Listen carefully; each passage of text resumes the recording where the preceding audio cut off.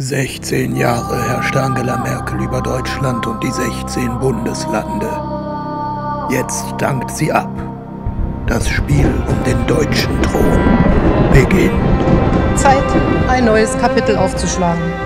Wird es der Zwerg aus dem Westen, der geschickt den bayerischen König ausgeschaltet hat? Wir müssen gewinnen, nicht weil wir gewinnen wollen, sondern weil wir gewinnen müssen. Oder wird es Annalena aus dem Hause Baerbock, die große Teile der jungen Generation hinter sich versammelt hat? Wir haben uns 40 Jahre darauf vorbereitet. Jetzt ist der Moment, unser Land zu erneuern und alles ist drin.